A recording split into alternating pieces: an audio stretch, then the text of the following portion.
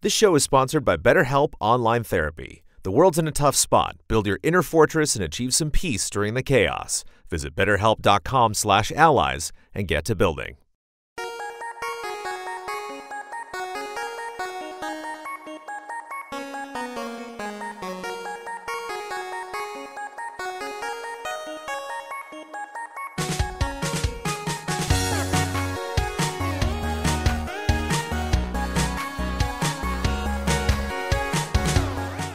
And welcome to the Easy Allies podcast. I'll be your moderator, Brandon Jones. Joining me this week, panelists Michael Damiani, Happy holidays. Brad Ellis, Bah!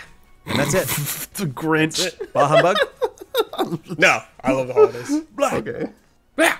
Uh, we're on Zoom because uh, we're doing stuff remote. I just got back from Florida yesterday, uh, and Florida's Florida's flying in the wind, man, in terms of the COVID regulations. So just to be safe, we're all going to hang out, uh, do a lot of remote stuff, and then we'll be back in the studio next week. Also, Bloodworth is on vacation, Isla is on vacation, so it is just these two panelists, and because of that, I've stacked on the headlines and things that we can discuss. We also have two weeks worth of stuff that has happened. Granted, it is over the holiday break, uh, so it's not a ton of news, but some fun things we can talk about and things that are I've tailored specifically for these two panelists. But before we do any of that, we have to talk about the mistakes that we made in the last two episodes of the podcast. You two sit right there. I'm going to start that corrections music. Bam! All right. Uh, I forgot to close out Or Wars in the December 17th episode, which I just always do. Uh, we joked about starting an Easy Allies cryptocurrency, but totally re- neglected to mention Don Bucks. That Oh, obviously, it would be called on- Don Bucks if we eventually Yeah. did it. No plans to do it yet. Uh, I've, I am, of course, way down, but I have to convince, you know, seven other allies. My custom Darth Vader PS4 that I snagged was for Battlefront 1, not 2. Um, and I feel I don't feel as bad because I, I went to the premiere event, and I think that's why they sent it to me. Uh, the contract from Grand Theft Auto Online is the 10th story update, not the fourth. Apologies. Uh, four of those are uh, heists, four of those 10. The Dawn of Ragnarok picture Huber talked about shows Odin riding a giant boar, not an elephant. little, li- little surprised he botched that distinction, but uh, Huber also said emphatically, no Assassin's Creed protagonists have ever occupied the same space, which is why this uh, DLC that they've added, they've added to Valhalla and to Odyssey is interesting. You think he got that one wrong? Uh, technically, Shay from Assassin's Creed Rogue hangs out with Haytham, who is a temporary protagonist at the beginning of Assassin's Creed 3, and I think maybe in a couple other Sure. missions. And Connor and Aveline have also shared scenes with each other. Uh, And it's pronounced Leicester, not Leicester or Leicester. I think Oh, I probably said Leicester. Leicester. England, right? Yeah, it's one of those things. Uh, Boston City pronunciations, speaking of Assassin's Creed 3, are also uh, they're tough. They're, they're slippery. I mess those up on occasion, so apologies to everyone who lives there. Ending corrections music. Bam.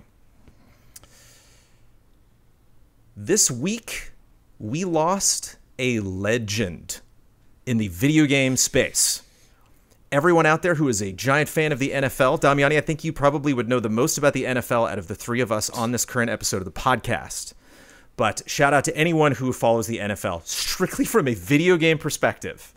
Um, this this is a this is a big loss. On Tuesday, December 28th, football legend John Madden passed away at the age of 85. A lot of people are saying in terms of the NFL, like the NFL owes this guy. And Roger Goodell and the you know NFL coaches and everything are like, yes, of course he was great, but it's just like football would not be anywhere near as well known it is today. Specifically, the fundamentals, the rules, the excitement around why a team does as well as it does, why records are so important. Uh, you know, rests on this guy's shoulders. And he was just the he was the Kool Aid guy of the football industry. Like he literally the cover of Madden '88. He's just just smashing through, and that's just kind of always the vibe that I would get from Madden. Uh, I've picked some highlights from his career for people maybe from our community who didn't know stuff about him, but I'm going to start with a long shot. Do either of you have a story about John Madden or the Madden gaming franchise? uh, the, I think John Madden was in Little Giants. Was He's he been in a lot of movies. He's been in The Simpsons Okay, multiple yes, times. he's in like, That's what he does that's like- what I remember yeah. him from. He's in Little Giants. He did a cameo in that. Yeah. Um, gaming wise, it was probably when Madden came to PlayStation 2. Like going into the game oh. store and seeing the PS2 kiosk with Madden set up and just seeing how good it looked in person. It, I, I mean, it looks so bad now or so dated by today's standards, but go back in time with me and like it was just mind blowing. I, I I was like, this is the most realistic thing I've ever seen in my life. This is so cool. Yeah, and I'm not picture. even like really into Madden games. Like the only football game I really got into was Blitz, like everyone else back in the day. That Oh. that was like the big one, but Madden was just like a juggernaut. It just like I remember getting it for Super Nintendo, like John Madden Football for Super Nintendo. And I, I I played that one. It was all 2D, old school. But like for me, Madden's like 3D. Like it's like mm-hmm. for so long, it's been 3D. Yeah. Let's let's talk about Madden and Nintendo for a second, Damiani. Uh, I'm looking at the list of all the Maddens, and it's you know it's not a hard list to decipher. It just literally is annual, goes year by year by year. Um, changed names over the years, but there's Madden 64. You know, an offshoot ex- created exclusively for the 64. It was clearly labeled as like a different version of Madden, exclusively for the console. And 3DS also got like its own Madden, Madden NFL Football for the 3DS. That's interesting. Uh, did they do that with a lot of sports, Nintendo, over the years, or do you think it just was so big they wanted their own version on these two consoles? I mean, it was. I imagine it was either a licensing deal or, I mean, starting with Nintendo 64. I mean, version differences because of PlayStation being, you know, CD ROM based and 64 still being cartridge based. So there might have been some decisions. I'm not very well versed in the, the early history of, of, of Madden development to, to say one way or the, an, another, but N64 did have a lot of sports games on it. Blood and I actually did a uh, rewatch of some old uh, Nintendo promo videos, and one of them was Nintendo 64 Sports. And I was kind of blown away. I was like, wow, there really were a lot of sports games on N64. Just no one wanted to play Nintendo 64. Everyone wanted Yeah. to play PlayStation. So, uh, yeah, so I I imagine it was, you know, there were plenty of Madden games on there. NHL 95 for some reason is just always in a collection of 64 games. Like it doesn't matter what, you know, what game store you go to. Like I just I've, I've seen that. Maybe it's just in the li- or our library at game trailers or something. Um uh I yeah, I it's fun to have as the person who edits some of our reviews but voices all of them. It's interesting to follow your passion through Final Fantasy, Damiani. Follow your passion through the Souls franchise, you know, Brad. And it, knowing I'm not, I'm not going to be the one to review these games, and so I get the script from you, and it's like, okay, not only where's this franchise at, where's my friend at with this franchise that they love so much, and I had that relationship with Shane Satterfield for like seven years. You know, like I hmm. got, I didn't know anything about Madden, and then I would get the script from him, and it was really interesting to be like, I'm kind of on top of this franchise right now, only just because I get, you know, I get schooled in it every. What is it? September? When does that thing drop? It just it's August, August. It I just think. wins Yeah. the yeah. It just It's like wins the month. August. I think it drops like automatically. Madden Day or whatever they do. Um, it's funny you say that because uh, I've technically never reviewed a mainline Final Fantasy game other than 14. like the single player ones, I, I same. never, I Alright, never, I never get to, I never get to review The one. The Legend Damn. of Zelda. Okay, did we do it? Did we? Yeah, you got to review Legend Zelda. of that makes more sense, Yeah. right? Okay. yeah, there you go. All right. Cue corrections music. Uh, so apologies to everyone who knows this information. Apologies to people who are obviously getting, um, you know, many mouthfuls of this uh, on multiple podcasts this week because this is a big deal. Um, but football's all about stats. It's all about fun factoids. And I just want to, I just want to breeze through this guy's career because Yeah. even knowing how big he was, reading this, like, damn, this guy had the Midas touch. Um, he started on the Phila- Philadelphia, playing for the Philadelphia Eagles in uh, 1958. He was drafted 244th. So, Yeah, he, he really didn't get to play on the Eagles. and, yeah, and, he, and, he, and he took an arrow to the knee and was out. He, he, he, he, he messed up his knee and then stopped playing. He started coaching for community college, but then came back into the NFL in the Oakland Raiders. And this is just one of the. This is like the, the one of those series you hear about in movies where they're just like, oh, the Oakland Raiders of that time period. Uh, became the winningest coach in franchise history, and has a winning percentage of .759, which is the highest among coaches in football's quote modern era. Damn. Um, so the guy just the guy just won more than anybody else, plain and simple. Um, then, as if that wasn't enough winning, he left to become a broadcaster and won 16 Emmys, and retired like a king in 2008. Um, and you know, franchise going strong. Uh, obviously, had a great legacy there. But in gaming, John Madden Football premiered in 1988. There's one factoid that I knew going into this, and I'm like, I just need to verify this because I, I remember this being true. Do you do you guys know about the player count? Have you ever heard that story? With The first Madden.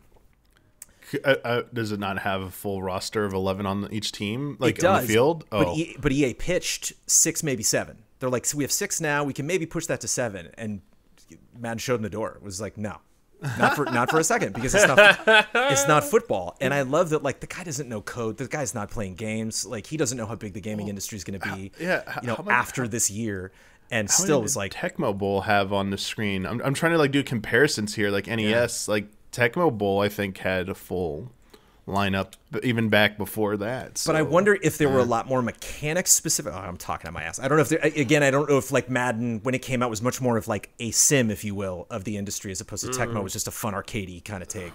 You know, regardless of player account, you just had more options. There was just more strategy, um, from what I understand. Um, but yeah, and so it took three years for development. Came out in uh, 1988. Uh, 1988. Yeah. Became Madden NFL in '93 after EA got the rights. Um, we're still feeling those rights because it's the it is the NFL football game. Uh, it sold uh, guesses, Damiani. You love those sales numbers. How many as of 2018? How many copies? like the whole series. The whole gosh darn thing. Um, it's gotta be. I'm gonna guess it's gotta be upwards of hundred plus. It's gotta be like in the top ten, maybe. I don't know. 130. Wow. I'm sure it's up there. Yeah, I don't. I didn't check it amongst other franchises. Uh, Four billion in sales reported in 2013. Uh, again, way more than 33 games, but 33 annually since um, the whole thing started out. Have you two heard of the Madden Bowl? yeah. What's the Is it Madden just a tournament? Damiani? A very special tournament. There's there are Madden It, it, tournaments, it, but it, this it is a involves special the thing. players, like real players. Oh, and, that's and, sick. And, and, and, and haven't they morphed it to like game player? Like uh, Yeah. people play the Madden NFL game, and people play real NFL team up together to play it now. I think it used to be just the players. It bounces around. It used to Okay. be. I I think. I think what you're thinking of, and again, I'm probably getting all of this wrong. Uh, I think the, the the Madden Bowl is football players now playing, and I think that's Yeah. like just the tournament. Whoever wins the tournament of a typical Madden tournament, or maybe the year or a season or something, then plays celebrities and stuff. They used to have just famous like actors and hosts and stuff play, and then now it's like primarily uh, um, they do it in the Super Bowl. They do it near the Super Bowl in the host city. It started in 1995. They still do it. And I love that the players can pick any team, so you don't have to pick the team you play for. Oh, sure. If you're like, no, I want to win this. like, I love that. Um, so that's Madden, man. I mean, the, obviously, you know, you can you can read and read and read about this guy, and, and there's no better time to. Um, but uh, obviously, you know, a, a, a, big presence, um, and maybe as the more I think about it, the gr- the greatest gaming celebrity of all time. Like, does, Sure. does does Tom Clancy beat this guy in terms of like people who actually care about Tom Clancy the person? Like, if Tom Clancy suddenly became alive and walked down the street, could you spot him? Like, I know he wears a hat. He always wears Jones, like crimson I'll tide give hats. Madden the nod because I remember him on the boxes of the games. Actually, There's Tiger Woods. ain't seen know, Tom like- on those boxes. Yeah, I mean, the other like he's been like one of the longest running as well. I mean, I, I, yeah, I, I can't think of any other like people who've had their name on the box like he's because he's actually appeared on the box. So it's like, And he said multiple times, you know, when the whole thing started, he's like, I'm excited not only just, you know, football games are fun and football's fun. I love talking about it. But he's like, I'm excited about people learning the rules. I'm excited for this to actually to teach people about football. I don't know. I don't get that Tom Clancy vibe where he's like, well, I, you know, wanted to teach, you know, spy work and, you know, inside government subterfuge Sure, and all this stuff. Um, but uh, yeah, so again, I, I'm probably going to get lots of corrections for people who are like, well, this one person. But uh, I, I just have you know very little connection to the Madden franchise, and I just know so much about this guy, and just just organically over the years, just being around people that loved him so much. Um, a really great quote that I'm stealing directly from Wikipedia. I'm going to quote it directly. Mad once recalled a time in San Francisco when a Philadelphia Eagles player rushed into a hotel room asking, "Where's Madden?" When people pointed to him in the room, he said, "No, no, no, no, not Madden, the game." that's funny. and he loved it. He was like, "That's great," you know. So like, you were saying something interesting, Damiani, before we, we went streaming, where it was just kind of a question of like, how how long is EA going to keep that name forever? Like, how long are people going to know who he was? You know, uh, obviously the next issue of Madden, the next you know the next tournament, like the next whole round of this the that that franchise is obviously going to be very reverent towards him. Um, but uh, how do you see that going, just in terms of uh, legacy and longevity? I mean, I, I feel like I mean nothing's off the table, but I have to imagine if it continues to make sense, it's going to keep happening because it almost feels like Madden has become synonymous with the football video game genre. Um, kind of like when we say we want a tissue, we want a Kleenex. Like when we want to go roller skating, you say rollerblade instead of inline skates. Like that's like just it just become a it's become a part of pop culture. Now depends on his estate who owns that and like if they want too much money or something and he is like well we just want the NFL license. We don't like there might be a point where money money can change anything mm. with this but as long as both sides are you know amicable about the situation I, I think EA wants to keep it. I think EA wants to oh, keep it for as long as Hell they yeah. want. Um, it's just if someone else wants to stop them from using it. EA loves themselves a brand. Um yeah, I just hope. Yeah, I just hope he is uh, credited. I hope he's he's known. It'd be nice to you know. To oh have, sure. To, to, have the legacy passed on because it's again, it's not. It wasn't just big because he had money. It wasn't just big because football's big. Uh, it's big because he was just he was big in, in many senses of the word. Um, and uh, yeah, shout out. Thank yeah, you. Th- out thank you. Thank you, John Madden. Well done. Good show, sir. Not doing as well as John Madden's legacy is Ubisoft's. Um, oh no! So Ubi, yeah, this week in Ubisoft having a hard time.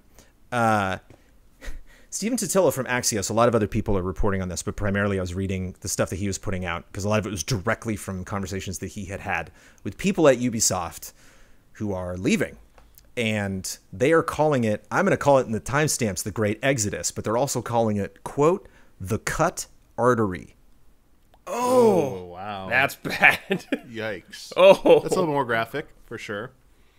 Um, translation: a, a, lot of people are just bailing on Ubisoft, uh, mm-hmm. and uh, you know Ubisoft has had you know has let people go. They have you know had franchises that have kind of stalled, or um, games that you know Beyond Good and Evil, Skull and Bones, you name it. Like there's a lot of weird things happening. Um, but specifically, Far Cry 6, uh, which is Ubisoft's biggest game of 2021, five of the top 25 credited people have left. Uh, 12 of the top 50 from fifth best selling game of 2020, Assassin's Creed Valhalla, gone. Um, and Ubisoft's Montreal, uh, where I've visited actually, I went there. Um, I think when speaking of Assassin's Creed Rogue, I think when that came out, and Toronto studios are each down at least 60 total workers each uh, in the last wow. si- in the last six months. Um, Quote, one developer recently said a colleague hmm. currently at Ubisoft contacted them to solve an issue with the game because no one was still there who knew the system. Jeez. Damn. Nobody's keeping the lights on. Wow. Yeah. This adds that to is. a lot of conflicting opinions, at least that I have about Ubisoft. How does how does news like this hit you, Damiani? Uh, it just shows that they're not that that they've been bullshitting about cleaning up their act and changing their ways I mean, they they keep saying publicly, um, you know, their executives keep you know shouting from the rooftops, "Oh yeah, we've addressed this and stuff," and they keep gladly giving interviews saying that they've been doing it, but this tells a completely different story. Like the numbers don't lie here. When like they're they're bleeding, as that uh, imagery shows us that they're just bleeding talent, and talent is not going to stay at a place where they aren't treated like human beings. They aren't treated decently and they have a history of these problems and they i feel like a lot of these people gave like in good faith for like all right we'll give you a chance to redeem yourselves because they probably love the games they're working on. Some of them might love some of the members of their teams that they're working on just like the the the, the people who are causing issues there. They just wanted to see them you know expunged from the company and that's just not happening. So it's like you don't want to waste your whole life there and like keep if you have the opportunity. I know not everyone does, but you've got the chance. I mean, I imagine most everyone who works at Ubisoft is incredibly talented and gifted and there are obviously places that they can move on to if they're you know seeking talent it seems to be um it seems to be just a situation all around that like ubisoft is just not doing the right thing definitely not the right place to work at probably for a lot of people. Yeah. It's a lot like um, when like uh, it reminds me a lot of blizzard years ago when people were started leaving that studio and they were making their own teams because they weren't oh, happy yeah. with what was going on in that studio. And it's like you heard about the same thing with like blizzard employees going to riot and said because they're getting paid like a good salary and blizzard they're offering them like peanuts essentially. And it's like ubisoft's changing as a company not just internally, but like what they're presenting the public in their games. And a lot of these devs might not be happy the route these games are going now. Like Assassin's Creed is like a a more live service kind of thing. I know it kind of is already, but like further down that road, like I don't know. It's like, are we still gonna get sweet games like uh, the Mario Rabbids game, like a sequel? Are we gonna still get cool, fresh games like that? Or are they just gonna keep doing the same old Tom Clancy bullshit right. or something like that that people don't want? Starlink Two, Damiani. Starlink Two. Yeah, I mean, I don't know if that like that. I mean, they can do it on their own, but Brad bringing up Mario and Rabbids, I mean, slightly slight concern for that game. I mean, yeah. it has it has. Oh, yeah. I mean, it, it has a schedule and stuff, so it, it's supposedly coming out. But I wonder if you know the the stories keep piling up about Ubisoft. Will Nintendo be like, yeah, we really we're not going to come back for a third one with you guys. Like, even if this one is well received, they'll just be like, you know, th- th- this could damage some of their business mm. relationships as well because it seems, while it does not seem any like any company is above reproach when it comes to this, like even when other companies are calling out everyone to like stand up, then like a story comes out about that company. So I'm sure all these companies have like, you know, skeletons in their closet, but the same time, like until that moment happens, like you, you see a company that's just, you know, toxic kind of like to deal with both they both deal with and being toxic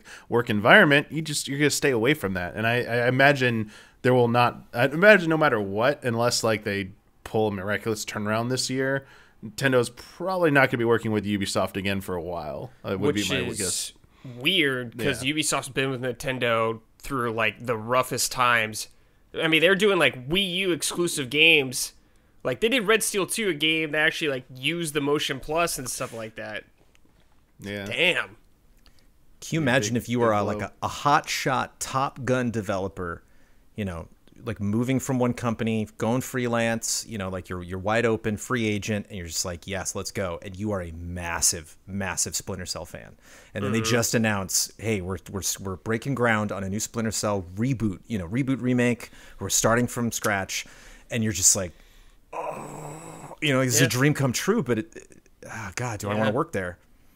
and a lot of people are, are saying that uh, low pay is like the only you nailed all of them damiani low pay is like the only other thing that they specifically said was a reason. A lot of and like you said, Damiani, a lot of people said like the whole time I worked at Ubisoft was great. It was literally just this last year that I'm like, I can't. I, it's too much. Mm. I can't take it. Yeah. Yeah. Um, you. I know Huber. I know you care about Huber, Brad, and Huber cares about Ubisoft. Are there any Ubisoft games you're attached to? Any franchises you're kind of like pulling for? Other than you know, we talked about Splinter Cell a lot recently. I'm, I'm like, yeah, I'm pulling for Splinter Cell. I'm, I want to be pulling for Skull and Bones Jones because it's a pirate game, but what it was before did not interest me at all. Like I just want, you know, just Black Flag 2.0, just sure. open world pirate game, just like do its own thing. Like I like Assassin's Creed 2 Jones, but like I don't love it, but at this current time like Rayman's kind of in the background, so I miss him. Mario Rabbids, yeah, but I don't really care about their like shooter stuff really. I feel a bit of disappointment maybe or at least I feel empathy towards fans of Beyond Good and Evil. I wasn't the big I wasn't the biggest like fan me. of that yeah. series, no, but two like it's got to be no matter what was going on with two with everything that's going on with that company like a if, if it's still happening you really want it to happen at this point with everything that's going on and, and, and two with all the departures and talent and some of the stories that come out about the people involved with it it's it's you know maybe just re-release the original one in HD one more time, so it's easy to yeah. get and like sure, call it yeah. call it quits. Because make I, a movie I, for HBO with all those like, environments and yeah. yeah, away. I mean, even the direction two was going. I mean, that was an amazing cinematic trailer they did, but I think didn't really have an idea what the game was. Yeah, like it, it, was just so nebulous, and I think people just wanted like just make a simple follow up to the first yeah. game, and you're probably never getting that. They probably went. I think they were too ambitious, probably with the original ideas with Beyond Good and Evil 2. Like they were with the first game, and they had to scale back a lot. Yeah. Do oh my God! Oh. Sorry, oh. I just remembered about the Prince of Persia remake. Oh yeah! Holy shit! Yeah. I mean, yeah, that's that's the thing is like we could we could do this all day. Oh my God! do you, um, do you either of you know what an attrition rate is? It's a. I mean, it's the rate at which something sh- like shrinks like specifically attrition. with employment though the number oh, of the number of sure, professionals go ahead, go ahead. Who departed the company in the past 12 months divided by the average number of employees during that period No. So it's like how how fast are you bleeding out, basically. Oh. Yeah, wow. um, you do not want to have a higher attrition rate. Uh, you want to have a low attrition rate, basically. Right. UB, uh, LinkedIn reports on this, so you know trust LinkedIn if you if you care to. Uh, they list Ubisoft at twelve percent. Brad, what do you think Activision Blizzard's at right now? Um, eleven. Damiani, do you have a guess? Activision Blizzard right now. 15. 16. Uh, EA's at 9, Take Two is at 8, and Epic is at 7. Um, which I'm sure all those companies, and they're probably right, are just like, well, you know, another day, another dollar. It's just that's the biz. Um, but that was interesting. I didn't know that was ranked. Uh, and it is interesting to actually get raw numbers in terms of like why this is alarming. Um, there are many, many more specific details in Totilo and everybody's reporting if you want to read more about this. How do you think Ubisoft responded to these allegations that things are not going well, it just in terms of their employment? You don't say. Uh, they claimed that they hired 2,600 workers since April. Their losses are still, quote, within industry norms. Okay. An internal, an internal survey listing, quote, would you recommend Ubisoft as a great place to work, returned a score of 74, which Wow. Ubisoft said is in line with the industry average. hmm. There is no war in Ba Sing Se. Is the- I understood that reference. Uh, I it- know, I use it for you, Jones. Are they are they delusional or are they just another win that like at the end of the day, as long as you can just kind of plug your nose and pretend it's not happening? Gosh, the cynical version of me just thinks that like lawyers or someone in that company are just like this the, the analogy we've gone back to a few times like the auditors who are like what is what is it going to cost us to be transparent? What is it going to cost us to try and like sweep this under the rug? And they're probably like you know what? In the long run will probably be better if we just ignore this and pretend everything is fine. Watch well like we're going to take mm-hmm. this risk. Like it's probably the least risk uh, like it's the least yeah it's the lowest risk. Sorry that's what i'm trying to say. The lowest risk for them.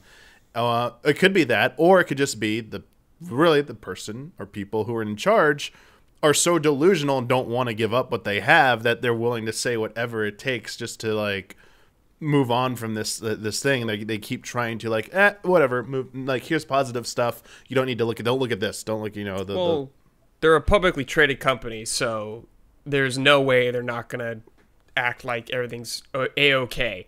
They're not gonna be like, we got a problem here. They got shareholders to please. They're not going to. Sure. It, it, it's crazy to think of 2021 when like all these lawsuits are flying around, and I'm like, eh. And then like all these people leave the company. It's like, okay, here we go. Like this might actually, Sure. you know, the lawsuits, them actually going to court, like is not doesn't you know doesn't strike fear in a lot of their hearts. But like maybe this. Uh, have either of you seen Broken Arrow yes i've seen it No. With uh, Christian Slater and, John Travolta? john travolta yep the Uh, nuclear there is a- missile heist yeah. Yes, there's a fantastic John Cusack line from this film where he says, "I don't know what is more distressing: the fact that nuclear weapons get stolen, or the fact that it happens so many times that there is a slogan for it, like Broken Arrow." And that's how I feel about the Great Exodus, where it's like just a lot of things happening at Ubisoft, but like five, ten years from now, they're going to be like, "How long have you been at Ubisoft?" Like, "Oh, 20 years," and just like, "Oh, so you were here during the the Great Exodus?" I'm like, I, I was. I tell my gr- I tell my grandkids about that. Yeah, put that on the company brochure Jones, Uh, what's concerning about this to me in the long run is at this point, with all the people who are leaving, all the bad will the company has, you're not going to be attracting the best talent as a company. Of course. All the best people out there aren't going to want to work for you anymore. That's a big problem. That's why people saying Kojima's spending so much, paying so much attention to Los Angeles. Why he like really wants to Yeah. put his foot down here again. You know, after trying to at Konami, because there's a lot of people that are ooh, in town might Yeah. want to just like Splinter Cell. They're like, oh man, working with Kojima, that sounds like fun, no matter what I'm doing. Um, so. Yeah, we want them to change. I will keep Yep. bringing up on the podcast various different ways that they can maybe Sort think out. about doing it. Brad, it's almost 2022. Oh, Are you excited for Elden Ring? a little, yeah. Are you familiar with the works of George R. R. Martin? Yes. Damiani, yo are you familiar with this author's works? yeah when he gets them out Oh, there. Well, yeah. Damn. the wheels were spinning. We I'm made it kidding. Happen. He's uh, very talented. Yes, He's, very talented. yeah, he that guy can write. That guy can really create vast worlds. That's like mm-hmm. one of the t- man. I'm not going to go on and on about Winds of Winter, but I will say one of the reasons it breaks my heart that this book doesn't exist is because I've I've read fewer worlds. There's maybe like a handful of authors that I have read that have created worlds, and I'm like, damn, this is big. like, mm-hmm. damn, there are so many people accounted for, which is really fascinating to think of like how many crazy characters and factions and timelines and stuff like that that he made for Elden Ring. The trouble is, we'll probably never know what the hell he did on this game. And the reason why I'm bringing this up this week, when there's any old week that we can talk about how nebulous his interaction is, is because on December 18th, when we were all on break, he wrote a blog post on his blog called, quote, Long, Long Ago um, which is short enough for, for me to read in its entirety, and I do so because I know how much Brad is excited about Elden Ring. So you might find some of this interesting. A few years back, Hidetaka Miyazaki and his incredible team of game designers, the creators of the Dark Souls video game, one word, video game, series, reached out from Japan to ask me to help them create the backstory and history for a new game they were working on. Now, video games are not really my thing. Oh, I played a few back in the dawn of time, mainly strategy games like Railroad Tycoon, Romance of the Three Kingdoms, and Master of Orion. But this offer was too exciting to refuse. Miyazaki and his team from From Software, from From Software, he did it. We're build, we're doing groundbreaking stuff with gorgeous art, and they wanted what they wanted from me was just a bit of world building, a deep, dark, resonant world to serve as a foundation for the game they plan to create. And as it happens, I love creating worlds and writing imaginary history, so I did my bit and handed off my new friends in Japan, and they took it from there. And years passed. Video games are as big as movies these days, bigger actually. Thanks, Gurm, for that. And take just as long to create. But the day of Elden Ring is finally at hand. And I've got to say, it looks incredible. Elden Ring will be released on February 25th, 2022. Uh, thank you for the fine print there. He also li- linked to the story trailer and the official gameplay reveal. Hell yeah. Did you, in fact, find that interesting, Brad? Oh yeah, I, we knew about this for a while though. His involvement with the game, about just setting up the mythos of it. We didn't know he played Master of Orion, though. I did not know that. Yeah, but it is interesting. Like he did none of the dialogue in the game is written by him or anything Mm-hmm. like that. None of the dialogue on the show is written by him either in Game of Thrones. Yeah, it's Very little. Really, there's not any dialogue where it's like from the book. it just it's it's got the Harry Potter problem where they're just like I mean there are many Harry Potter problems, but it's got the Harry Potter problem where they're like, oh that was a fun scene, I'll write it into two lines. And you're like, okay, like I remember vaguely what that scene was about, and you do, I'll do a joke. So there's just like Dinklage Yeah. uh carried a lot on his shoulders of like, and here's that whole scene in a punchline. Moving on. Um, and of course, when they ran out of book material, it just, you could feel it. Right, you could right, you, right, you could feel that roller coaster start to dip. Um, so yeah, I. How many people are going to buy this game because Gurm's involved? Because he's involved? Yeah, what's the percentage? Dude, I don't know. Like the idea I don't think he's like his name's on the box or anything like that that I recall. So Might be on the back. Probably on the back. yeah, on the back maybe, but I feel like everyone that knows about this game isn't gonna buy it because he's involved in it. They're gonna buy it because it's from software making Yeah. this. I think it's just like a nice little sprinkle, you know, little sprinkles on your cake or something like that. Just a little something extra. Do you see this? I don't be- think it's a deal breaker. I was just so curious because we know so little. Th- you know, this blog post stands out because he, he doesn't do these. Like he hasn't written. Right. He's it's Yeah. just been in interviews or been from software speaking of what he did. But uh, would do you think it would benefit from him doing a not necessarily a publicity tour, but like?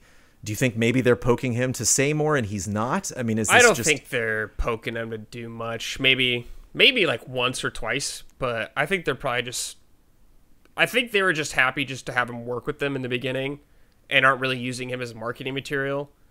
Like this blog like if the furthest marketing they get about him is a blog post, I guess. I don't really expect much poking at George R. R. Martin. is this Yeah. weird, Damiani?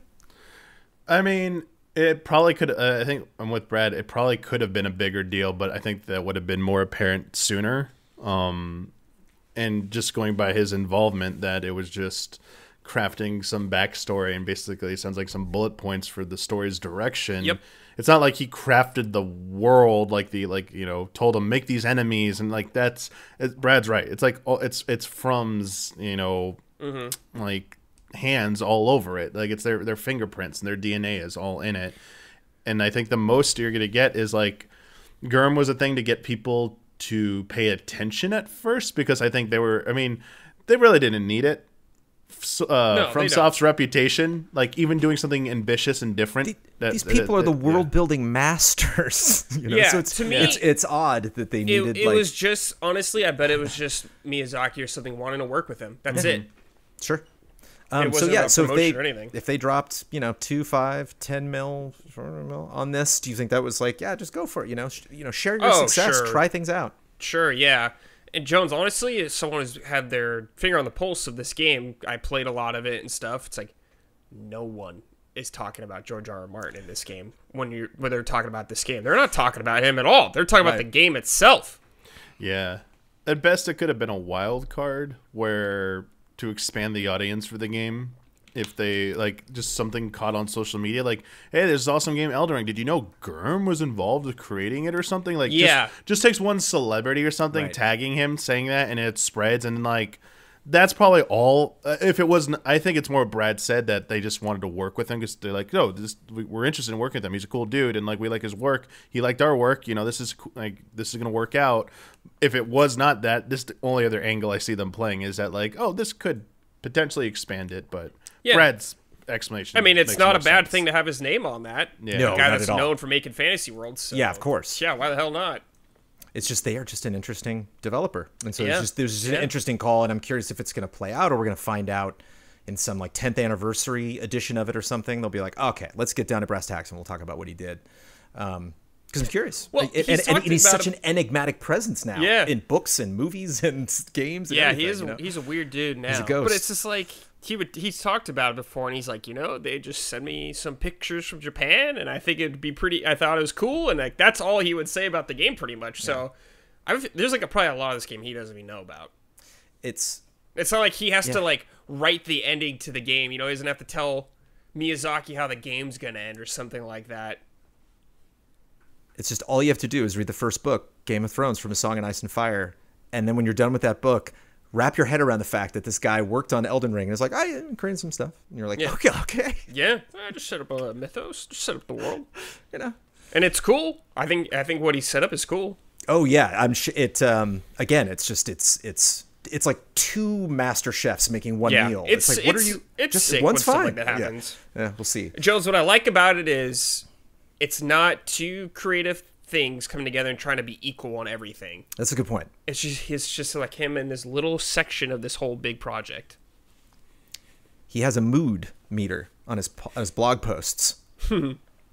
That's funny. This this mood, uh, the mood for this blog post is quote enthralled, yeah. and it is a little is a little emoji of, of an alien blinking, I think, and hearts are like flowing around That's his head. That's how he feels. If you just if you wanna if you wanna know his Dude, emotional it- state. It sounds like this is the kind of stuff he really liked because he likes world building, you know. He, but he doesn't have to think about a lot of the other stuff. Like I don't have to think about where Right. his characters go or how their story's gonna end. if you're awesome for him. if you're curious what else he likes, on the left side of his blog post there are a bunch of tags, Oh. uh, where you can click on different you know types of blog posts that he wrote. There's over 40 tags on the side there. oh. Elden Ring is not one of them. Ouch. do you know what it is? What do you know? What is one of them? The NFL. Shout out to John Madden That's for funny. going out into the world and teaching people about this sport. You got Gurm. He's apparently a Giants fan. Quick bet. Quick bet to think about. Will there be an NPC in Elden Ring that looks like him? Oh, yeah. Yeah, Name like Merg or something. Maybe. probably. not even just not even voice acting, just appears like him, looks like him. sure. I mean, Will everyone wears like- fucking masks in those games, so you can can't, can't tell. Will it be easy to find them, or will it be kind of like cryptic? I think it'd like, be trick- really cryptic. It'd be fun if he was like dead. You found a corpse with a beard. that like a I rotting feel like he would be into that, I Jones. think he'd be way into that. yeah. Yeah. Um, either that or like full on brothel, just co- just covered in women. Yeah. Which again, if you read the Song of Ice and Fire, will will stand out. Um, but yeah, the game's amazing. So again, it's just all it's all water under the bridge. Doesn't matter how much you you spend on that one. That game's gonna be great. And now, a word from our sponsors. Zoom in on me, baby. Even in the even in this podcast version, I still get the close up, even when we're doing it on Zoom. Whether it's saving more and spending less, getting organized, or losing weight, there's a lot of worthwhile goals to set for yourself this year. At the top of your list should be learning a new language with Babbel, the language learning app that sold more than 10 million subscriptions worldwide. I have not been doing my homework. I have this app. I have accessed it. I'm curious to master Spanish or possibly German because Amanda was born in Germany. Spanish because I've lived almost my entire life in Southern California. Uh, shout out to Isla Hink, who's not on the podcast this week, who actually actively has done work. Um, just like other, just like other sponsors we have with mobile components, uh, there are games in here, and man, I mean, if we have proven nothing here at Easy Allies, it's the games rule and it's fun to apply them in other things. Not only is learning a new language a fun and engaging new hobby, you can use it while you check off traveling more from your list. The whole Babbel process is addictively fun, fast, and easy. Babbel teaches bite-sized language lessons for real-world use. Babbel's 15-minute lessons make it the perfect way to learn a new language on the go. Just spend a lot of time waiting in airports, so it would have been a good opportunity to learn languages. Other language learning apps use AI for their lesson plans, but Babbel lessons were created by over 100 language experts. Their teaching method has been scientifically proven to be effective. With Babbel, you can choose from 14 different languages, including Spanish, French, Italian, and German. Never gonna try French, but God, God, I love hearing people speak it. I heard some people, and uh, I was on a nature trail, and some French people walked by, and I'm just like, God, I could just be a fly on your shoulder listening to that beautiful language. Plus, Babbel's speech recognition technology helps you to improve your pronunciation and accent. There's so many ways to learn with Babbel. In addition to lessons, you can access podcasts, games, videos, stories, and even live classes. Plus, it comes with a 20-day money-back guarantee. Start your new language learning journey today with Babbel. Right now, when you purchase a three-month Babbel subscription, you can get an additional three months for free. That's half a year, six months for the price of three. Just go to babbel.com and use promo code ALLIES in all caps. That's B A B B E L, three B's, B A B B E L dot com, code ALLIES. Babbel, language for life. We all shop online. And we've all seen that promo code field taunt us at checkout, but thanks to Honey, manually searching for coupon codes is a thing of the past. Honey is the free shopping tool that scours the internet for promo codes and applies the best one it finds in your cart. Honey supports over 30,000 stores online. They range from sites that have tech and gaming products to popular fashion brands and even food delivery. I was shocked how quickly and easily I was able to spend money over the holidays when it concerned anything regarding my two year old. I mean, there's no decision. It's like, obviously this is why there's so many shows on Nickelodeon. Obviously, this is you know this is why you know I can't believe Toys R Us shut down. It's like there's so many ways you know to get something really quickly. I got Thomas the Tank Engine game, and it's just like, do you want five dollars? Five dollars? And so, thank you, honey. Every time that popped up, doing the Christmas shopping, doing, you know, like it really encourages me to just almost do all of my shopping online because it is always so gratifying. Whether it can make that coupon happen or not, whether it can find something or not, it's always nice when honey just waves at me from the corner of my browser. And it's like, let's save some cash. Imagine you're shopping on one of your favorite sites. When you check out, the Honey button drops down. All you have to do is click Apply Coupons. You wait a few seconds as Honey searches for coupons it can find for that site. If Honey finds a working coupon, you'll watch the prices drop. We watch so many games load. It's just so nice to see money load. It's like, come on, baby. Big money, no whammies. Honey has found its over 17 million members, over $2 billion in savings. If you don't already have Honey, you could be straight up missing out on free savings. It's literally free. Free? It is not free. It's free, and it installs in a few seconds. And by getting it, you'll be doing yourself a solid and supporting this podcast. Get Honey for free at joinhoney.com slash allies. That's joinhoney.com slash allies. And if you are a patron of Easy Allies. Thank you. And Happy New Year! Yay! Yay. It's New Year, gentlemen. You know what that oh, means? You know what that means? Oh, yeah, games. games. Yeah, games. Yeah, announcements. Year end lists. Nah. Oh. For podcast moderators. Oh, it's it's low hanging fruit but I feel like I strike gold. I feel like I strike gold every time. It's also fascinating, like who does and when. You know, obviously there are NPDs; those take a little while to, to tally. The end of January, we'll find out a lot of top selling stuff. But then there's this Nintendo, which just releases a trailer. I love trailers. Where they're just like, hey, here's a bunch of indie games that, according to us, are like the top or the best. I don't know if that's most copies sold, most money made, most time played, maybe a combination of all of it. But they made a trailer uh, and I'm curious to throw all of these titles. Did either of you see this trailer for their top Switch indie games? I've no. not seen it yet. And also, when you talk about top Switch games, it's snooze, Mario Kart 8, blah, blah, blah. You know, it's like we don't need mm-hmm. to go mm-hmm. into that. Um, but it's interesting, especially in this last year, to see not only obviously the indie games that performed, but specifically on Switch. Daniel Bloodworth loves to say, loves to poo-poo any any new like record that happens. Like, no, duh, Shin Megami Tensei 5 is the biggest selling franchise entry in the franchise. Right. It's on Switch. So I wonder if that's the same tr- as true for for these games. Cyber Shadow, Uh, these are also in the order of uh, just how they were shown in the trailer. Okay. Unpacking, which I recommend recommend playing on PC if you can, but it's still fun on Switch. Tetris Effect Connected. Uh, I've heard of these three. Stick Fight the game. Hmm. I've heard of. I think I know what this is. Yes. I've Damian, seen something for it at the some point. Yes.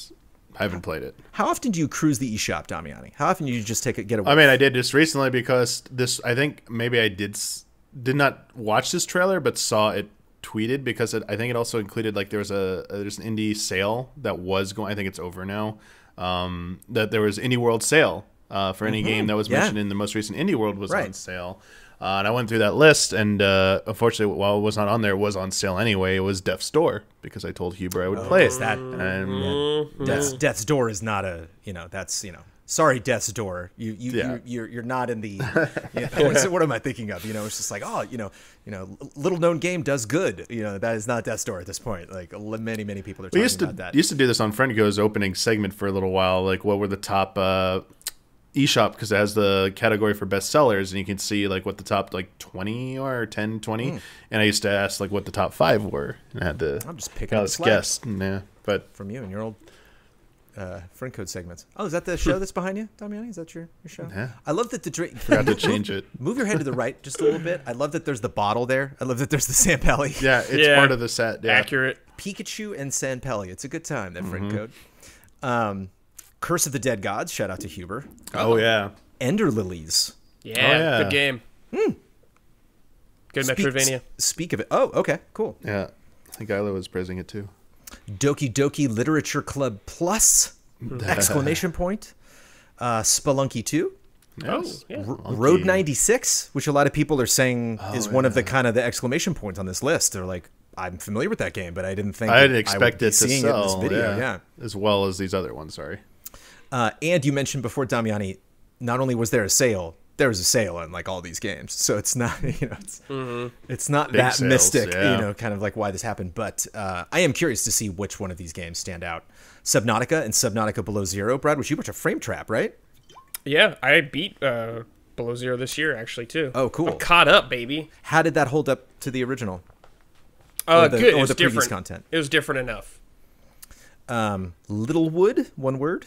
Littlewood. Oh, I'm blanking on this one. Brad, anything? No, I don't know. Got him. I intentionally didn't look these up because we're talking about the top Switch games, so I thought Damiani would be coming in with Islanders Console Edition. He knows what that is, right? Islanders What? Console Edition. Islanders, Islanders? Console Edition. Okay. This obviously means that this game came out on a different platform before. Mobile These- maybe. These indie games are getting big sales despite you, Damiani. Slime mm-hmm. Rancher Plortable, Okay. Plortable Oh. Edition. Sure. Yes. Okay. Plortable Edition, which Google Docs really wanted to correct, but I wouldn't let it. Eastward, which is mm-hmm. getting a lot of buzz. We know about Eastward. and Axiom Verge 2, mm-hmm. Yeah. which is one of those that you kind of have to check the math to be like, yes, that is an independent game, but is that you know it's just kind of like Death's Door, something oh. that's coming with such a pedigree, and un- and unlike a Cyber Shadow or Curse of the Dead Gods, isn't trying to like you know kick off a new IP. They've they've really done that with a lot of success. Um, so yeah, anything. Just looking back, you mentioned Road 96, but was anything like truly shocking on this list, or is, are we are we agreeing with Blood that hey, if you can get your indie game, your franchise sequel, your whatever, if Nintendo calls and they say they want that Bayonetta 3 exclusivity, you should seriously consider I it. guess it's good to hear some of these games I didn't expect to sell so well. Spelunky 2 had timed exclusivity, which a lot of people saying worked out really Yeah, well. but like Ender Lilies, I didn't expect really to be a big game or anything. But hell yeah. Same with Cyber Shadow. That game's sick. Do you feel the power of that? Are you holding it in your hands right now, Damiani, a Nintendo Switch? I'm, I'm just curious to see what the What Joy-Cons on the got on eShop if any of those are in the best sellers right now. Let me see I'm the Joy-Cons. I'm what Joy-Cons you got on that? oh, this is the OLED. Yeah, why don't you hold it? Okay, okay, nice. Yeah.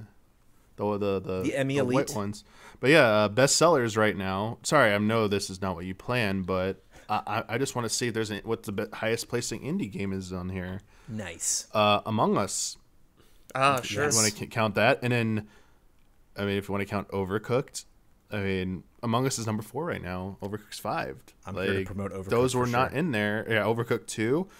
Uh, Stardew Valley still doing very well. Yep. Oxenfree.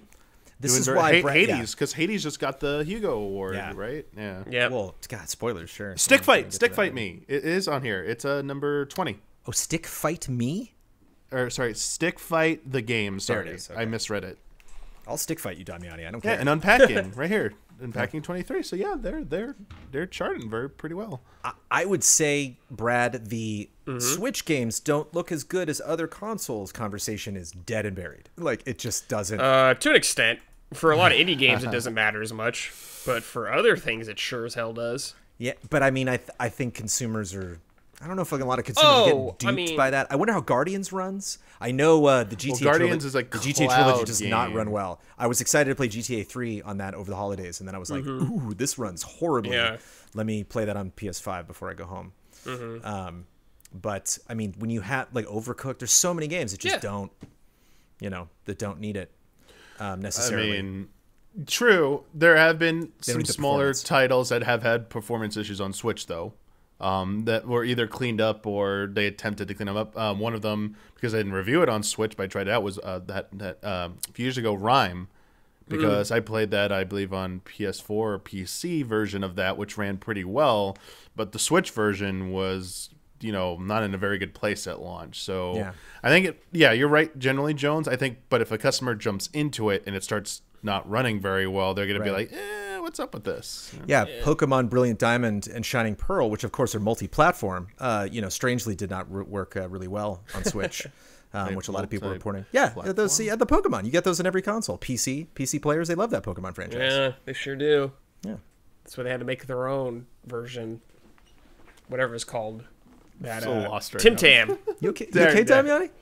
Wait, you, I thought you said Pokemon Brilliant Diamond, and Shining Pearl are multi-platform Wait, titles. Like wait, they're on they're multiple not? systems. They're not. You're telling me that Pokemon Brilliant Diamond and Shining Pearl are exclusive to the Nintendo the Switch? bait. I fell for the bait. But I'm hearing all sorts of reports that those aren't working well. How can it not work well? Wow. If it's made exclusively, it's a big franchise. Yeah, what? See again, Brad, it just doesn't doesn't matter. Especially for all these games, I can't, you know, I can't really think of any things that any one of these that would be Well, it's 'cause compromised. it, it's got the handheld factor, Jones. People give it a break. It's a Having you boon. played Subnautica on PC both versions, would you see that? Could you imagine that being fun on the Switch? uh, As fun? fine. I don't like playing in handheld mode. I just don't like playing games like that. For people who do, yeah. And it's just, you know, if you only got a Switch, hey, at least you can still play it. would love to see if they have any internal research because they do about household data, but the whole mobile thing, like we've just kind of like bought into it, and like it's been like the mantra and the and the, or the, the mo sorry of the the Switch, and while it's it does have selling power, part of me has to wonder at this point if it's not it's not the handheld option that's bringing people in. It, it's uh They have a you know, great I mean, library. It's it's not the like, yeah, it, it, it's library, but also like you can get a Switch Lite for so cheap, or Mm-hmm. OG Switch for like you know cheaper than the other consoles. Um, but also like kids, like adding an extra system to a household. I think Mm-hmm. that's what Nintendo was sh- always shooting for is that price point and Oh, yeah. making it more durable. And yes, handheld for like a kid because a kid wants to take wherever they want to go. Like it's not it's not for our version of like why we like it being handheld because like oh I, I wanted to go travel with it. It's like, like kids generally like no they don't stay still they don't stay in one place all the time. So like hooking up a console and stuff only works for so long. Then they want to run off and go do something else. Like they they're just toting that Switch with them all over the place and stuff. Like I, I even was told, uh, like um, my nephew's really into video games now, and uh, my brother and was telling me like, oh, we're we're gonna get him a Switch next holiday season. Like it's too soon for him, but like we want we want to get him one because like it, it like we ch- we want to get over the other systems because he just he just he's all over the place. And like we're just gonna get him the one? Like which one like we'll ask you the question which one we should get? Him like oh the Switch Lite. Like get, get him the Switch Lite that's nice and durable all in one piece so you don't lose a Joy-Con or something. And like you know they just, just drop the thing like you know step on it. It's probably not gonna break. Whereas mm-hmm. like console it's like you you want to spend five six hundred dollars on something you know for a little kid I, I i think that's like part of like such a big deal with switch honestly it is like rethinking what we mean like when it's like, when it's portable it's like durable i think is another point to add to Sure. it Yep. Grinding in Shin Megami Tensei 5. Portable? Mm. Mm. On a plane? oh, fantastic. I watched Fast and Furious 9 and played Shin Megami Tensei 5 at the same time. Just Nice. grinding, just Let running in circles and grinding. Jones. You know, like I fought all these demons Does before. just getting SMT5 have auto battle? And if it doesn't, do you wish it does? Oh, oh it, does. definitely does. Oh, it does for sure. But one of the things that's great about it, just we're talking about Switch games. One thing that's great is I don't. It's a button press. It's not a setting that you just it just does it every ah. time. you have to mm-hmm. tell it, and it prompts like, "Are you sure?" So it's a it's a it's Y and then A. And what I'll do is because um, my understanding of Shin Megami Tensei 5's battle system is you hit that elemental match and then you get more turns. And so the first two or three turns of any battle, I'll do all of those manually just to get the guys going and yeah. battle. And then okay, go. You know, it's like I don't, you know, they're all weak enough, or I took out the one tough guy. Um, So I did a little mix of both. You know, works out. Um, but yeah, go Switch. It's just kind of fun. Kudos to Nintendo for coming out with that stuff. And Yeah. um, it's funny you mentioned Switch being good for kids. Milo grabbed it off my desk. I come into my office and he's just about to boot up SMT5. I'm like, I think I'm fighting a spider demon right now, buddy. I'm not mm-hmm. sure if I don't know if that's your cup of tea. But just like Dominic said, when he's three, oh yeah, time to catch some demons. And I got more lists. I ain't stopping there. Oh. Uh, I don't recall which allies were on the podcast when I talked about a weird Steam list where somebody where, where a independent it was SteamDB uh, is an independent team other than Valve that uh, tried to discern what they think is the, what makes a good Steam like a top Steam game. They're mixing up all sorts of different metrics. Okay. And a lot of the comments on that episode were like, "What? That is a weird list." It was kind of like the Steam Indie list. I want to see if any names stuck out. Well, Valve is here, and they got their top selling, their top new releases, and their most played. Oh. And predictably, there's there's just not a lot of surprises on this list, but I still have them. Um, so do, should we go? Brad, you like lists? Should I go through all of these? You just want on the top selling, and we No, can maybe let's see if anything through. stands out. How long's the list? Is it ten? Yeah, there's like ten. There's Oh like yeah, like let's go handful. through it. Um, and again, these are in no particular order. Uh, top selling Apex Legends, PUBG, Counter Strike Global Offensive, Battlefield 2042, which is maybe a little bit surprising. Mm-hmm. Uh, Naraka Blade Point, who, se- who sent us a, a fantastic Christmas yeah. present that I'm bringing into the studio next week. Thank you, Naraka Blade Point. Not a lot of Naraka coverage coming from Easy Allies. Dead by Daylight, uh, Destiny 2, New World, Brad, which is nice. Which I'm gonna actually, my, my buddies finally jumped on our server. I'm gonna start spending a little more time there Oh, next okay. year. Uh, Rainbow Six Siege, Valheim, Dota 2, of course, and Grand Theft Auto 5. Yeah. There you go. Yeah. So yeah, nothing Free to play games on Yeah. there. Uh, No- usual no shockers there. suspects. Almost reads like a top Twitch categories list as well. Close. What are the most usual suspects, Damiani? Three of those have been running for six years, top sellers. I mean, Grand Theft years. Auto. Grand Theft Auto five. is That's one of obviously one of them. Um, sorry. Uh, Two more. You don't need me to reread this list. yeah, you do. Cause I To tell me what are the two, other than GTA 5, biggest games on uh, Steam. I mean, It's just like, not League of Legends. I mean, and not PUBG, sadly. I bet PUBG wishes they were in that top three. Apex. Uh, Dota 2 and CSGO. Oh, Dota 2. Okay, and CS:GO. yeah. yeah, yeah, yeah, yeah. running. Of course, yeah. I was gonna yeah, say because course. they they've been. I was like, which are the longest ones? I was like, keep forgetting. I forgot about CS:GO. It's been for a minute. I forgot you said Dota 2. That was the one I was blanking. I was like, you said one obvious one. I can't remember its name right now. And it's like Yep, Dota yep, 2. yep, yep, yep, yeah, yep. it's been around forever. And CS:GO, man, Just gonna feels keep like going forever. Feels like that wasn't that recent, but it, it is, or it was recently, but it's not. yeah, CS:GO's old, man. PUBG and Rainbow Six Siege are for five years, and Destiny 2 is three because they couldn't be on the list because they, were on- they were on Battle.net until Right. 2019. oh yeah. Um, but again, Ubisoft, just shout out to the whole Rainbow Six team. I hope you're all enjoying your jobs, Mm-hmm. and um, because it definitely has a uh, looks like a bright future. The top new releases, specifically just this last year: Age of Empires 4, Back 4 Blood, Forza Horizon 5, Outriders, Valheim, Halo Infinite, F- Resident Evil Village, Battlefield 2042, New World, Mass Effect Legendary Edition, Naraka Blade Point, and Farming Simulator 22. Good old farming Yeah, good simulator. old farm Gotta have that. Um, noticed a few uh, Microsoft entries on that list right Mm-hmm. there. Yeah, seem to be uh, doing pretty well on Steam. Maybe. Yeah. Yeah. the times are changing um and especially too like sony getting a lot of their stuff you know like on pc it's like yeah get on these lists we'll see we'll see interesting to see how these uh, lists will change as predictable as they can be um and the most played is like basically the same list Yeah, as Dota 2. all yeah Dota 2, Counter Strike, New World, CS:GO, Apex, Halo Infinite. Um, in, even in just that short amount of time, Yeah. uh, Halo Infinite, Grand Theft Auto 5, two others that we have not spoke of until this point. Not top Hmm. new releases and not top selling, but most played of 2021. Minecraft? Is that on there? No, I don't. Yeah, I don't think Minecraft's on. Um, I'm not sure. I think you I'll maybe have guess to go one because Microsoft it, to get it. It it peaked, but I don't know if it would make the top ten list. Did 14 make that list or no?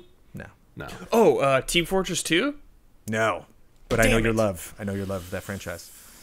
Rust was one. Oh, Rust. gosh, okay. Rust. Okay, makes sense.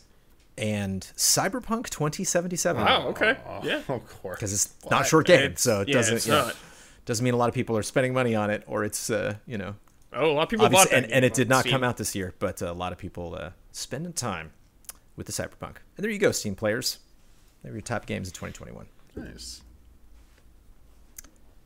This is too big for also this week, which we are rapidly approaching.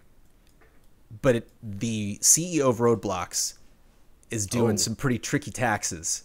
Uh and, oh. and it's Oh. gonna and it's gonna take a second to explain and i'm not really expecting a long conversation Rich people math coming up. yeah it's just funny rich people math is so funny and it sucks but here we are and i think you as the listener of the easy allies podcast or our viewer you you should have this information the new york times is leading this story uh, all of the, what I'm about to say is completely legal. This, he has not done anything. He's not in trouble at all for this. I don't think the board, with these articles getting written, is going to make his life tougher. Of course, I speak of David Baszucki, who is the CEO of the Roblox Corporation, which was founded in 2004. There's a tax cut from the 90s called the Qualified Small Business Stock, or QSBS, which is so fun. Yes. It was created to promote investments in startups by shielding company profits from taxation. So they're like, not only do we want you to not have to deal with taxes, people who invest in your company, we don't have to have to deal with taxes either. Uh, originally, when it was written, it was for half of profits up to $10 million, and then they later changed that to just 10 mil. You just, for 10 mil, you don't have to worry about if you're investing in a startup. When the Roblox Corporation was founded in 2014 it, or 2004, it qualified for QSBS. Uh, this means that had to have assets at or below $50 million. Uh, as a Disney fan and a Mighty Ducks fan, I think, Brad? Mighty Ducks fan? Yeah. Uh, of the f- the film and maybe the new uh, Disney Plus. I don't know if you're that familiar with the Anaheim Mighty Ducks, the actual hockey team. Yes. Disney when Disney created the Anaheim Mighty Ducks, they specifically set them at a fifty million dollar value. That's funny. And Congress that. and Congress was like, wait, wait, wait, wait, wait. like, you're not Disney, yeah. Disney's not going to qualify. That's funny. so, so they were like, okay, let's be very clear, which is just funny. Um, it's like weird Disney things come up with John Madden's history. It's like, there's, al- yeah, there's always some weird Disney story about them doing funky business. Um, the problem with it is you can gift stocks to friends and family. They qualify, but you still control the cash. You still are Oh. can create this web, which you can maybe disguise, or if you're Baszucki, you do it twelve times. uh, it's called stacking. Um, his mother-in-law started doing it last year. Roblox stacking. Roblox so wholesome, man. Um, politicians know this sucks. They know they shouldn't do this. They are actively trying to change it. The cost of that effort is estimated at sixty billion dollars over the next decade. Wow. Cheers to. Baszucki. You know, Star Trek. They name maneuvers after uh, captains. They got Riker maneuver. They got a you know Picard maneuver. This is the Baszucki maneuver. He will go down in history. Kudos. You know that's uh, impressive.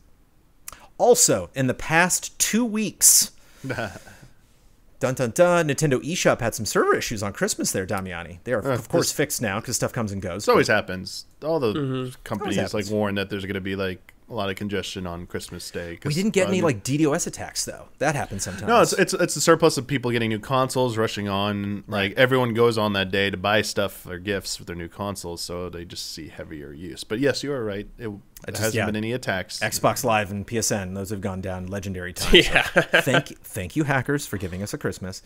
Uh, the Amiga A500, which no one at Easy Allies really cares about, will be out on March 25th. It's going to feature 25 games. I don't know what those 25 games are. Moving on, the Hugo Award will give out uh, gave out their first first best video game to Hades. Um, be, due to pandemic and maybe development time, you know, the staff couldn't go there. Uh, Greg Casavin. mm-hmm. Kasavin. Uh, I always want to say Casavin. Um, No, it is Casavin. I think. I think it's Kas- okay. I think it's Kasavin. uh, who's a wonderful guy and they're a great team, uh, recorded a video, but he couldn't be there in person, which is a bummer because because it is the Hugo Award because it's typically such a liter- just a literature thing. I really enjoy Greg like you know like smoking a pipe and being like in the library setting or something, and they're like, I really liked the Portrait of Zeus. You know, like, I, I would love for him to have those conversations with literary giants. Um, really good writing in that game. Team 17 is no longer publishing the first person shooter Ready or Not uh, because a level apparently focuses on a school shooting. Um, you are a SWAT members, so you are probably going in to stop this. Obviously, no details or anything. It was a very amicable, amicable split, but it's just interesting when you have like a level of a game that like publishers out. Um, Danny Trejo is now starring in two free Far Cry 6 missions if you missed that over the holidays. Hot Wheels Unleashed announced a million in sales. Yo. I want more DLC Hell for yeah. that. I want more. Yes, we've gotten like three DC updates. Like they're yeah. Thank you. Uh, Battlefield 2042's first season reportedly won't be released until March 2022. Wow. That's so. Reportedly, They need hasn't happened yet. Yikes. no details. Uh, that came from Michael Huber via Slack uh, with an emoji of a face palm. Huber's the source, everyone. I'm just kidding. So Hubert, yeah. Uh, Daybreak Games is now developing and publishing Magic: The Gathering online, which uh, Bloodworth was surprised to find out has been around for a super long time. Uh, Final Fantasy 16's development has been delayed by half a year. Uh, at least we found out, I think, before the end of the year what was happening. Yep. But they said we're finding out in spring 2022. We're gonna get our next We'll see it, yeah. our next glimpse. Yeah. That was expected, honestly. Yeah. When Which we is got why to they the make end it of a the year. headline. Yeah, yeah. the one small thing, the explanation he gave, I've seen some people, you know, maybe like everyone's been mostly in good faith, but I've seen some people ask like, "Well, why, why did it take so long to get this pipeline figured out?" Because in 2020 they had to figure out the Final Fantasy 14 pipeline because 14 got delayed. Like all of its content updates got a permanent delay by three months.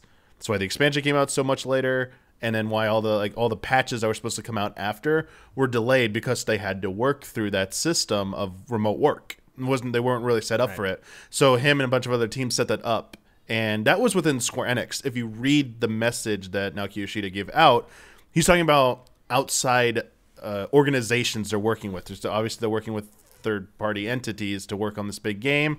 Sounds like not all of them are as well equipped to deal with work from home as they are. So it sounds like they've run into some speed bumps with that. So yeah, people are like, well, didn't Square Enix already do this a year ago and now they're doing it again? It's like, well, sounds like they don't want to pass the buck. They don't want to keep, throw anyone under the bus, but they're also like, yeah, we work with other people too, and you know, just ran into some issues. It's like, yeah, it sounds like, and also, hmm. this dude's not gonna let this game come out unless it's like looks good. The next time Yeah. it's showed off, next time we see it, in this spring reveal, we have to see game, like we have to see HUD gameplay. Like I think it's like you, you, Yeah. like he understands the, the expectations. Yep. Riot Games reached a 100 and, uh, million dollar settlement. 20 mil is that is of that is going to lawyer fees. The rest is going to all the female employees involved in the suit from 2014 on. Hmm. So Yeah. Uh, yeah, that worked out for them. Sonic's Green Hill Zone Lego playset goes on sale on January 1st for 60